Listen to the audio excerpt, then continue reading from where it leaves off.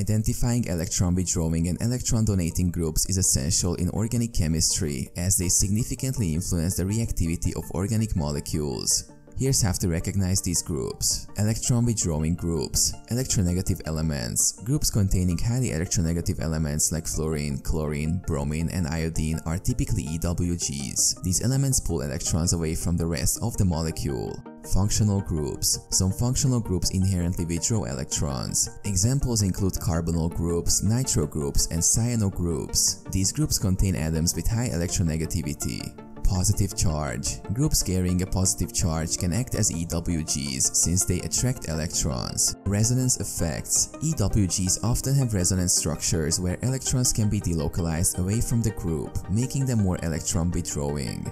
For instance, the nitro group exhibits strong resonance. Electron donating groups Alkyl groups. Alkyl groups are EDGs because they are less electronegative than carbon and tend to donate electrons. Functional groups. Some functional groups act as EDGs, including alkoxyl groups, amino groups, and alkylamino groups. These groups contain lone pair electrons that can be donated. Negative charge. Groups carrying a negative charge can act as EDGs since they have excess electrons to donate. P-bonds. Groups with P-bonds can also be EDGs because they have electron-rich p electrons that can be donated into a molecule.